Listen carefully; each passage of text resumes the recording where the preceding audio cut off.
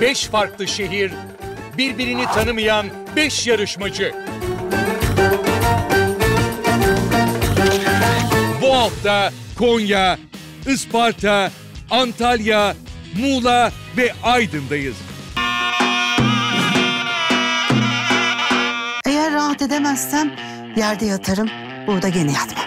Kim daha becerikli, kim daha hamarat, kim daha misafirperver yarışarak öğreniyoruz.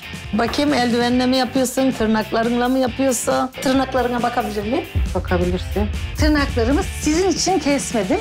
Benim yaşımda olan insanlar, çocuklar daha okula gidiyorlar ama ben çocuk bakıyorum. Düşünebiliyor musun? Ama çocuk bakmayı bilmiyorum. Çünkü kendim çocuğum.